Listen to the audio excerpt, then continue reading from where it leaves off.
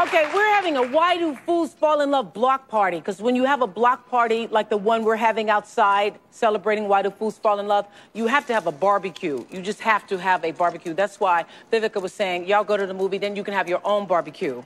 Uh, my chef, Art Smith, is back to share some of his fabulous recipes with us.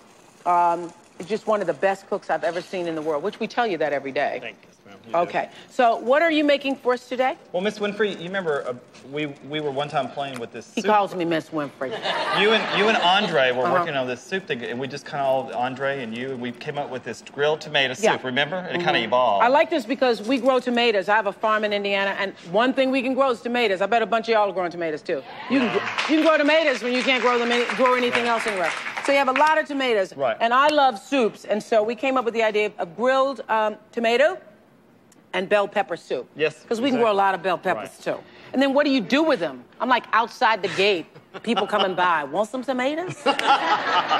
Well, what's great about this soup is that you can make it and you can freeze it, and it's wonderful as you do. Wonderful in the wintertime too. Wonderful all the time. We do it because you should make it now and then freeze it later because tomatoes are only good at a certain point in the year. and you Grilled, but you got to grill them. Otherwise, grill you don't get the flavor. You don't get the flavor. Okay. what we did, Miss Winfrey, is we've got three pounds of tomatoes, and these can be. We have some wonderful yellow tomatoes. We have plum tomatoes. We have other kinds of just different types of tomatoes. We had red peppers that you just cut them in half. We grill them. If you want to really cut down the fat, just spray it with a little Pam and put them on the hot grill. And then what we also do is we, you can sprinkle with little herbs. Now the next thing, Miss Winfrey, we do is we just put the vegetables. Don't call me Miss Winfrey on TV. Okay. Okay. Okay. Yes, ma'am. Okay. Okay, ma'am. Okay.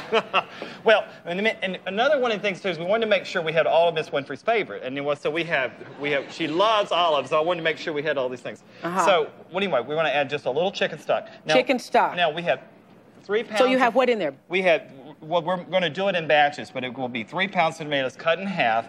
Two Vidalia onions. Vidalia, sweet, wonderful onions from Georgia. Really wonderful. Yeah. We know Vidalia. We know Vidalia. Okay. Okay. And then we got a head of garlic, which we've roasted. You know, you wrap it in foil and roast it in the oven. It makes it nice and sweet. You want to add that to it.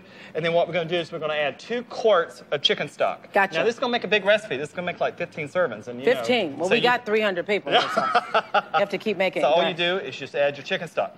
There is no butter. There's no cream. Any in the soup. It's perfectly natural. It makes its own cream. It's Right. fantastic. And then you just add some fresh herbs. And what we've done is we've got a half teaspoon of chives, basil, fresh oregano. And that's it.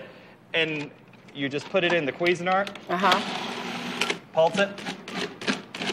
I like mine a little chunky, you know. You, that, this is true. Yeah, true. So we make it nice and chunky. Yeah. Well, you know, to make that.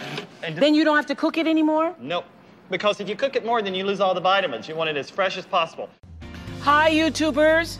I'm excited to give you an update about our own YouTube channel. Now you can find new videos every day. They're the kind of videos that will make you look at life differently. They may even make you laugh a little bit. Who doesn't need a daily dose of that?